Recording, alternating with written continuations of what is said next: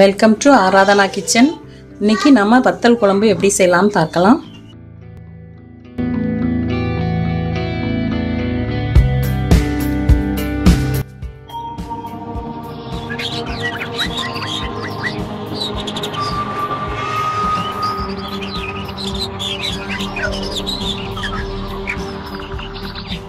இன்னைக்கு நாம வத்தல் குழம்பு செய்ய போகிறோம் அதுக்கு தேவையான பொருட்கள் மூணு பெரிய தக்காளி மிக்சியில் அடித்து எடுத்து வச்சுருக்கேன். எலுமிச்சை அளவுக்கு புளி சின்ன வெங்காயம் ஒரு இரநூறு கிராம் உரித்து எடுத்து வச்சுருக்கேன். ஒரு பச்சை மிளகாய் பத்து பல் பூண்டு சுண்டைக்காய் வத்தல் ஐம்பது கிராம். அடுத்து வாங்க எப்படி செய்யலாம்னு பார்க்கலாம். வத்தல் குழம்பு எப்போதும் நல்லெண்ணெயில் தான் தாளிக்கணும். ஒரு கப்பு நல்லெண்ணெய். இப்போ ஆயில் சூடாயிடுச்சு. கடுகு உளுந்தம்பருப்பு ஒரு ஸ்பூனு ஜீரகம் ஒரு ஸ்பூனு.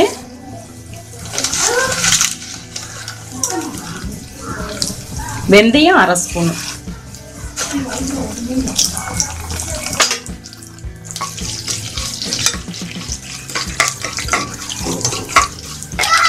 வெடிப்பு வந்ததுமே பூண்டு போட்டுடணும். ஒரு பச்சை மிளகாய் போட்டுடணும். எடுத்து சின்ன வெங்காயத்தையும் ஆட் பண்ணிடணும். ரெண்டும் ஒன்று போல் வெந்து வரும் தாளிப்பு சின்ன வெங்காயம் பச்சை மிளகாய் பூண்டு எல்லாம் ஒன்று போல் வெந்து வரணும்.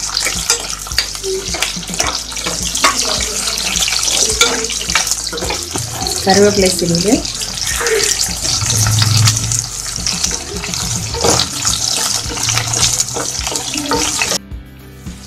வெங்காயம் இப்படி வெந்து வரும்போது நம்ம அடித்து வச்சுருக்க தக்காளியை ஆட் பண்ணணும்.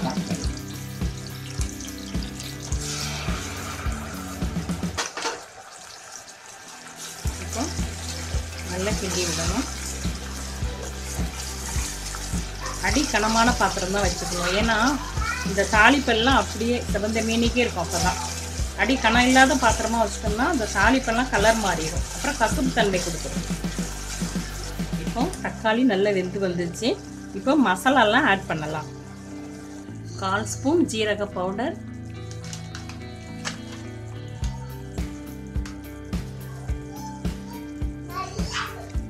ரெண்டு ஸ்பூன் தனியா பவுடர்.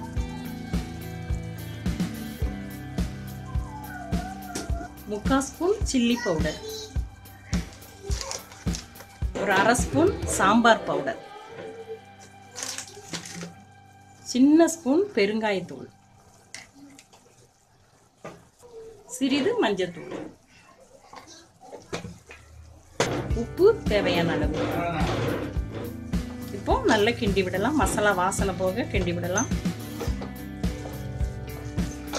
புளி வந்து எப்போதுமே அரை மணி நேரத்துக்கு முன்னாலே ஊற வச்சுருங்க. புளி நல்லா கரசல் திக்காக வரும். குழம்பு நல்லா திக்காக இருக்கும் அப்போ தான் இப்போ இந்த மசாலா வாசனெல்லாம் போக நல்லா கிண்டி விடணும்.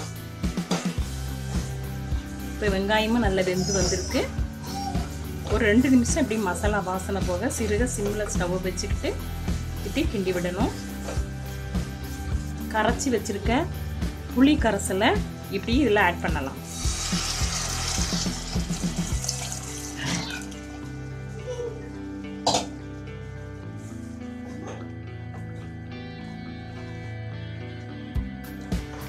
தட்டு வச்சு மூடி வச்சிடலாம். ஒரு ஃபைவ் மினிட்ஸ் நல்லா குழம்பெல்லாம் நல்லா கொதித்து மசாலா வாசனை போடுது.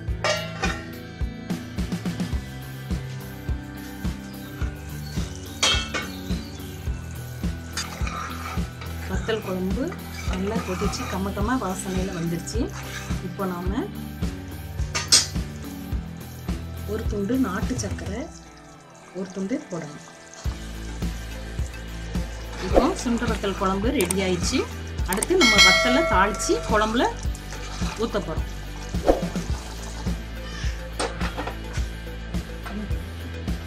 நம்ம பாதி அளவு எண்ணெய் ஃபஸ்ட்டே தாளிச்சிட்டோம். மீதியை வத்தல் வறுக்க எடுத்து வச்சுருக்கேன். எண்ணெய் ஹீட் ஆயிடுச்சு. இந்த அளவு இருந்தால் போதும். இந்த அளவு இருந்தால் போதும். இப்போ நம்ம குழம்புல விட்டுடலாம். கலர் மாறிச்சுன்னா கசப்பு கொடுக்கும். இந்த அளவு எடுக்கும்போது எடுத்துடணும்.